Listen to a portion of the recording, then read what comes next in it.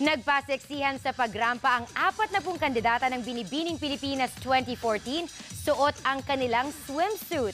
Lutang naman ang ganda ng ilang candidates tulad ng isang OFW at isang magsasaka. Nagpapatrol si Mario Dumawal.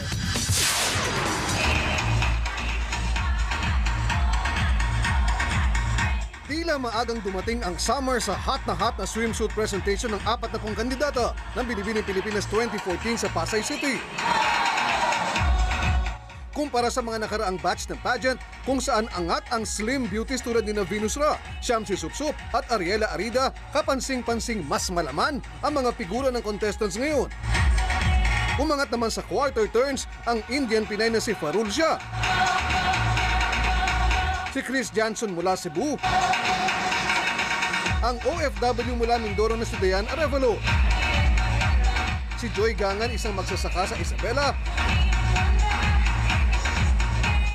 ang atinistang si Mary Ann Guidotti, ang Arabian Pinay na si MJ Lastimoso, ang Binibini Pilipinas 2013 first runner-up na si Pia Wurtzbach, at ang Bicolanang si Yvette Santiago. Ngayon pa lang marami ng favorites dito sa media presentation ng Binibini Pilipinas 2014.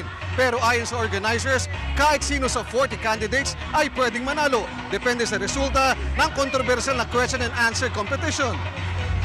Tutulong din ang reigning Miss Universe na si Gabriela Isler mula Venezuela sa pagpili ng kinatawan ng bansa sa Miss Universe, International, Supranational at Tourism Queen International sa Coronation Night sa March 30 sa Araneta Coliseum na iyahatid eksklusibo ng ABS-CBN. Mario Dumawal, Patrol ng Pilipino.